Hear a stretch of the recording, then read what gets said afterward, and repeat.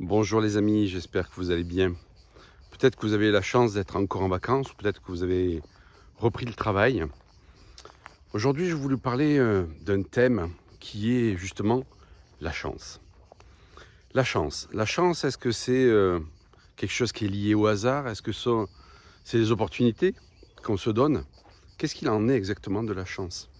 En fait, en vieux français, le, la chance vient du terme chéance, qui est du verbe choir, c'est-à-dire tomber. C'est relatif quand on jetait les dés. Comment les dés tombaient, en fait. Et donc, on, sent à travers cette expression qu'il y a une notion de hasard. Alors, est-ce que la chance, c'est du hasard?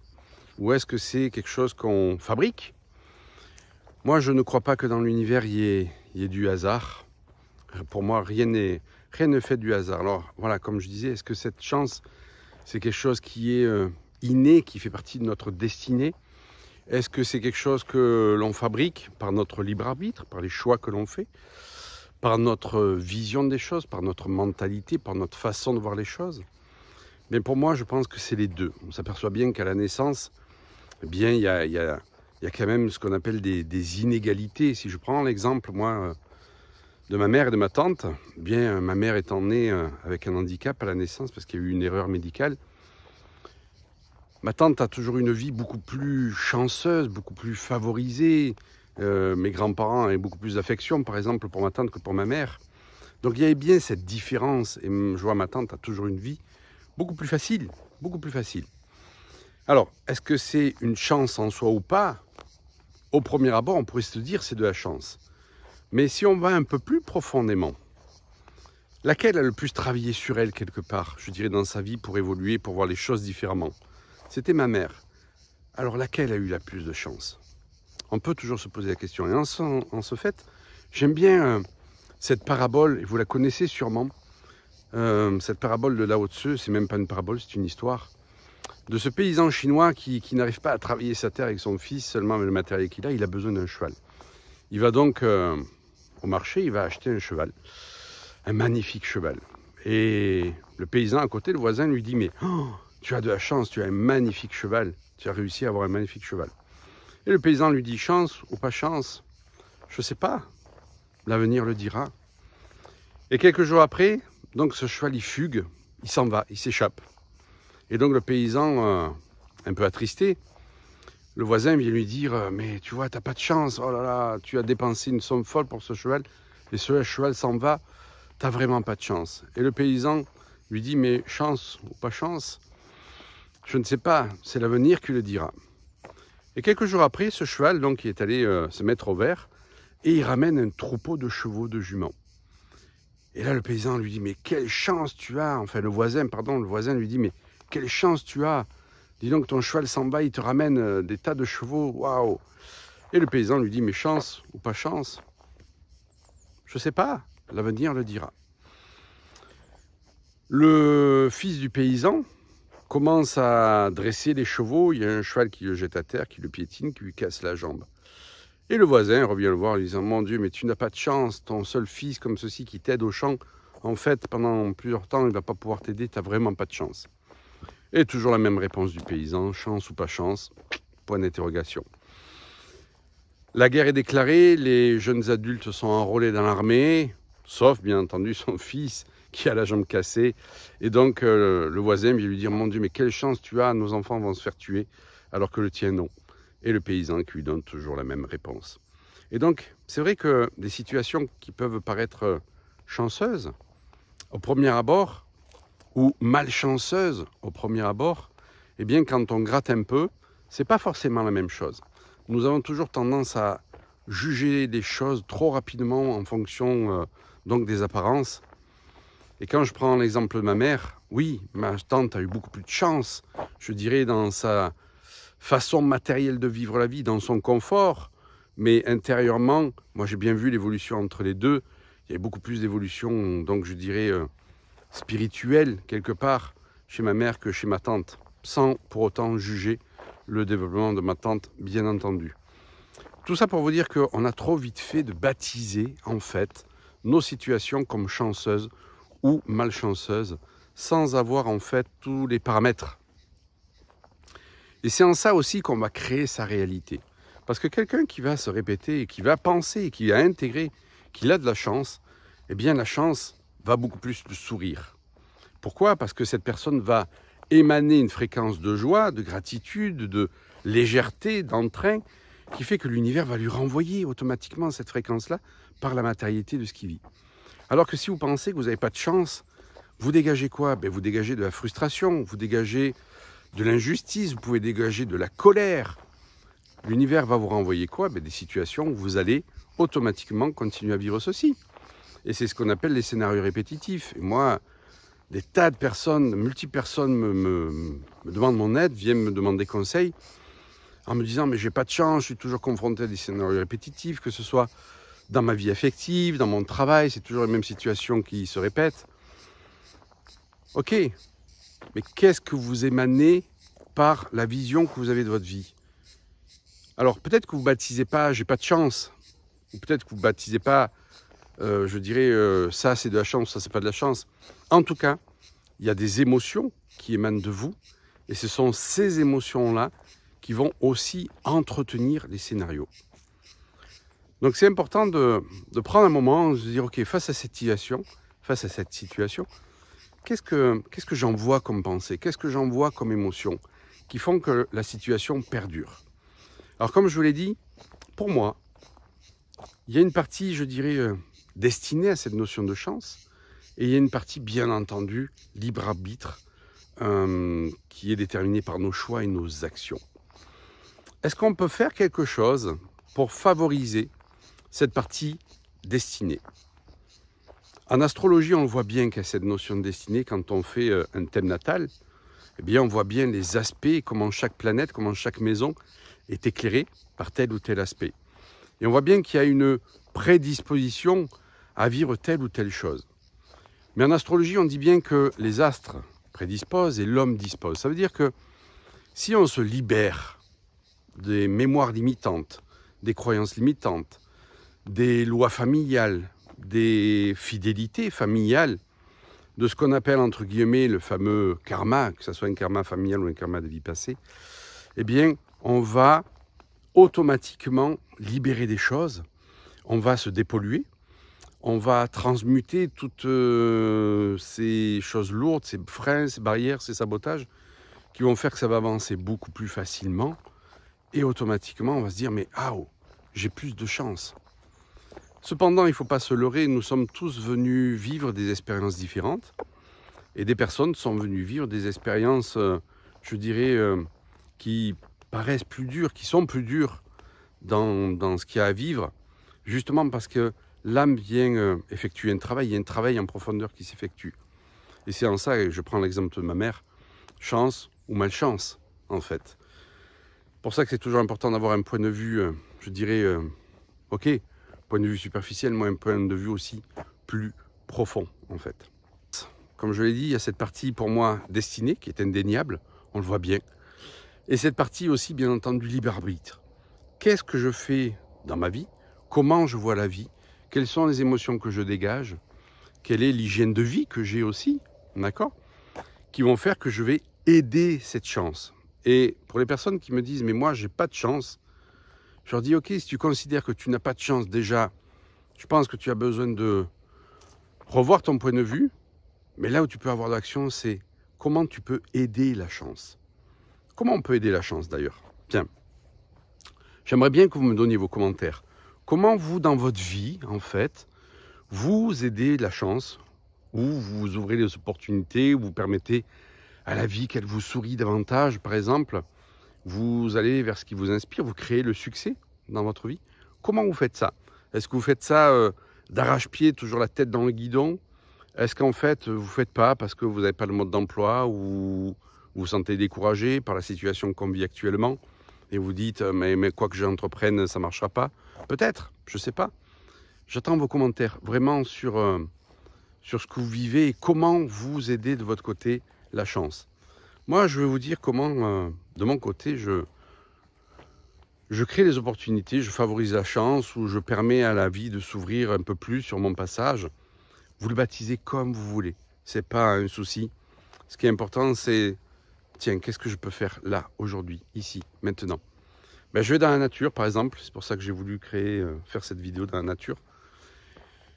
Et je remercie, je remercie d'être dans cet environnement. Je suis waouh, waouh, waouh, waouh, waouh, waouh, merci. Merci, merci qui? Merci à moi. Merci à la vie. Merci, euh, voilà. Je remercie. Je suis très souvent dans la gratitude pour ce que je vis, qui est agréable. Et je suis aussi dans la gratitude de ce que je vis qui est moins agréable parce que ça vient m'enseigner. Et souvent, on a ce filtre euh, de dire ben, je prends bien sûr ce qui est agréable et je rejette ce qui est désagréable. Alors que ce qui est désagréable, il y a une merveilleuse leçon derrière. Et si on adopte ce point de vue, euh, d'aller voir derrière ce scénario répétitif de souffrance, qu'en fait il y a un merveilleux enseignement, eh bien on va ouvrir, on va ouvrir le, champ des possibles, on va ouvrir le fait que la vie euh, eh va nous sourire davantage, que la chance va nous sourire. Évitons d'avoir des regrets. Évitons d'avoir des regrets. Combien de personnes j'ai pu recevoir qui me disaient, mais en fait, la chance m'a souri à un moment donné, dans mon couple, dans mes affaires, etc. Et par mon comportement, je l'ai gâché. Et donc, on sentait vraiment beaucoup de regrets. Et les regrets nous pèsent, les regrets nous alourdissent, les regrets nous empêchent d'avancer puisqu'ils nous tirent vers le passé. Je leur dis, mais ok, c'est comme ça, vous avez fait ce que vous avez pu, en fonction des moyens que vous aviez, des programmes que vous aviez, de la conscience que vous aviez. À vous aujourd'hui de nettoyer ces programmes, d'éveiller votre conscience et de prendre euh, enseignement des erreurs qui ont pu être faites. Et même pas des erreurs, des essais en fait. Je préfère le terme essai que le terme erreur. Et là, la machine, elle repart d'autant plus. Donc, ne cultivez pas les regrets. Ne cultivez pas les regrets. Cultivez la gratitude. Cultivez un cap aussi que vous voulez donner votre vie et parlez à l'univers, parlez à la vie. Demandez-lui de l'aide, demandez-lui qu'elle s'ouvre devant vous. N'oubliez pas que tout part de soi. Tout part de soi. Même quand à la naissance on n'a pas les meilleures cartes et qu'on s'aperçoit que d'autres à côté de nous ont des cartes plus fortes, c'est surtout ce qu'on va en faire de ces cartes qui est important. D'accord? Et plus vous allez euh, focaliser sur le fait que vous n'avez pas les bonnes cartes, et eh bien plus vous allez en fait bloquer votre vie. Donc, euh, important de, ouais, de, se poser et de, regarder les cartes que vous avez et surtout ce que vous allez en faire. En fait, moi, quand je vois ma mère, ce qu'elle a pu faire dans sa vie, je me dis, mais c'est waouh, waouh. Avec un handicap comme elle avait, c'était waouh, en fait. Et elle s'est toujours focalisée sur la chance qu'elle avait eue d'avoir quatre enfants. Ça, pour elle, c'était la chance de sa vie. Et elle cultivait ça tout le temps, tout le temps, tout le temps. C'est ce qui lui donnait aussi euh, la patate pour, euh, pour avancer. Alors cette vidéo, non pas pour vous donner des leçons, bien entendu, mais je vois tellement de personnes qui me disent mais j'ai pas de chance, euh, je suis confronté à des scénarios répétitifs, qu'est-ce que je peux faire, etc. Eh bien, aidez la chance. Aidez la chance déjà en ne vous victimisant plus, en ne vous lamentant plus, car la vie ne nous veut pas du mal, la vie elle veut nous faire grandir. Alors ça passe effectivement parfois par la souffrance, et même souvent par la souffrance, quand on n'a pas bougé avant, parce que la vie, elle nous demande du mouvement. Donc, c'est qu'est-ce qui peut en fait me mettre en mouvement? Parce que si je reste sur mon canapé en me plaignant et en attendant qu'on me fournisse une baguette magique, ou qu'un thérapeute vienne euh, régler les problèmes pour moi, il ne va pas se passer grand-chose. Comment je peux aider la chance? Et je vous en ai parlé, mémoire limitante, croyance limitante, programme obsolète dans l'inconscient, ben, tout ça, ça se nettoie.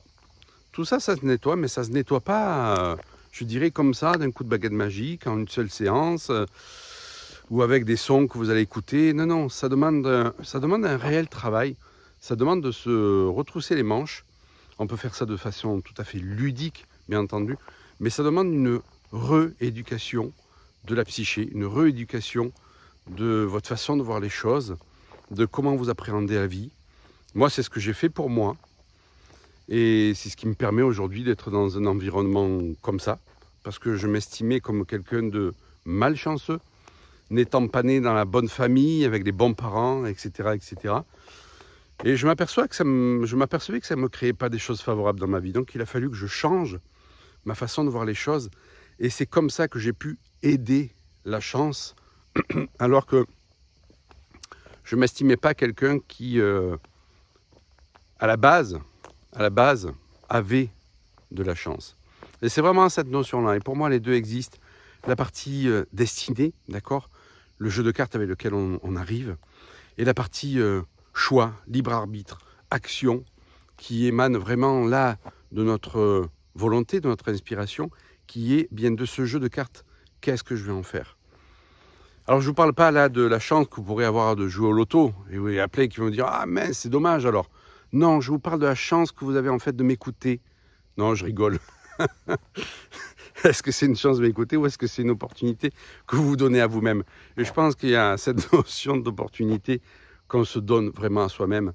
Et pour moi, c'est la chance, c'est tiens, dans ma vie, qu'est-ce que je m'autorise ou qu'est-ce que je m'autorise pas? S'il y a vraiment qu'une question à, à, retirer de cette vidéo, pour moi, elle est essentielle, c'est celle-là. Qu'est-ce que je m'autorise dans ma vie ou qu'est-ce que je m'autorise pas?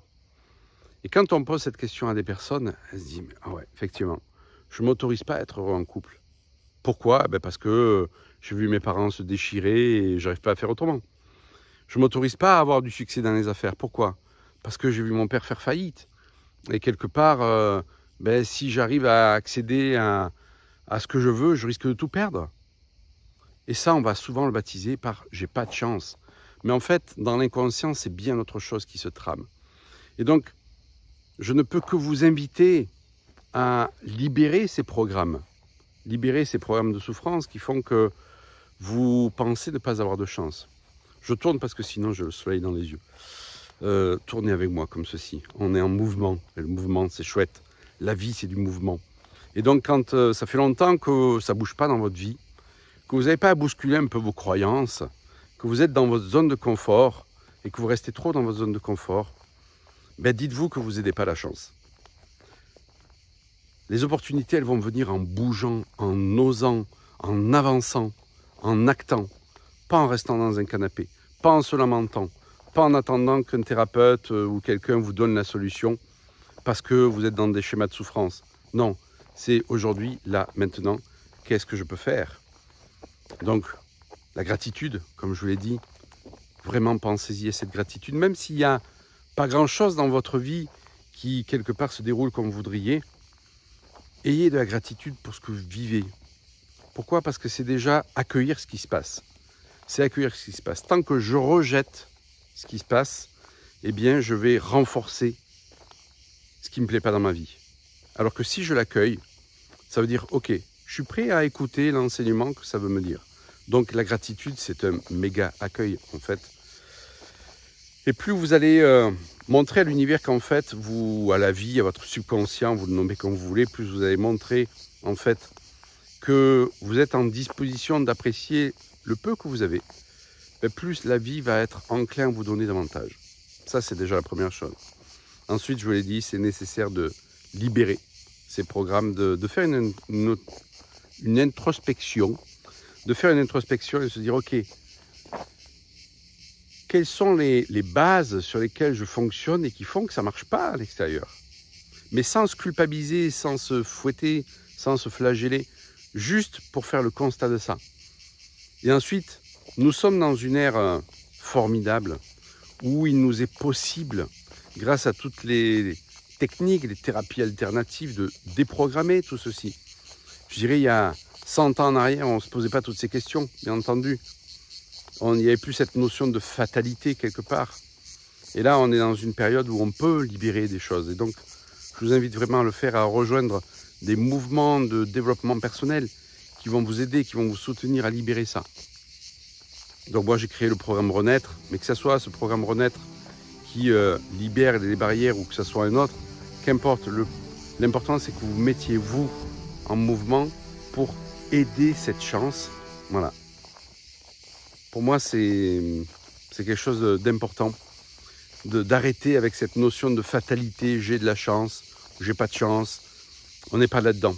On n'est pas là-dedans, comme je l'ai dit, euh, ça demande déjà d'avoir tous les paramètres, plusieurs points de vue, et rien n'est jamais joué quelque part. Donc si vous estimez que dans le passé, vous avez euh, loupé des occasions, mais demandez à l'univers qui vous en propose d'autres. Même si ce n'est pas les mêmes occasions, bien entendu que moi j'ai loupé aussi. J'ai pensé avoir loupé des occasions. Mais je ne suis pas resté là-dessus. Et ne restons pas là-dessus. commentez dites-moi comment vous vivez, vous, cette notion de chance dans votre vie. Ça m'intéresse beaucoup. Et donc, je vous dis à très bientôt pour une prochaine vidéo. Ciao, ciao